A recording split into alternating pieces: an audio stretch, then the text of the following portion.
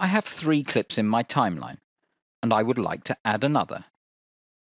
The display table here, and I'd like to insert it at the beginning. So to do this, I make sure my locator is in the correct position, here right at the beginning, and then I select the clip and choose the region, from where until where I want to use it. And this region should go to the beginning of my project. But I don't wish to import the audio channel, and so I can deactivate this in the mapping section A. And so the audio is left out of the import. The video data should go to track 1VA, and this is correct. Now we have the question as to which mode I use. Overwrite is clearly wrong, as I don't want to erase the data that is already there.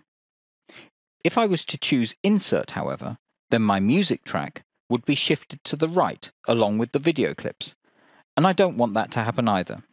There is a solution for this, however, and I'll show it now. I'll undo my last procedure and select the clip again.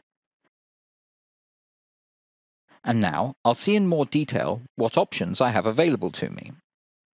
In this column, which we haven't looked at yet, I can specify which tracks are affected in insert mode.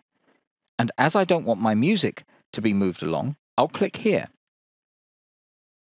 And now the music will remain as is.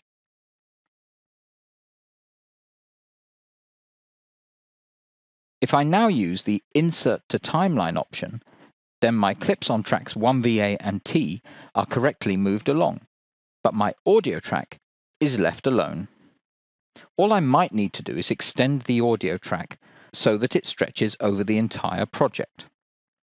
So it is important to remember that I can use this column to specify which tracks are taken into account when using this mode. If I wish to exclude a track from the process, I just deactivate the symbol for that track here.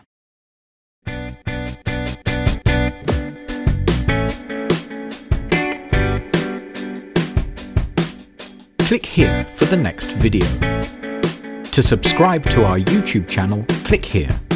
You can find more tips and tricks in our Edius podcast.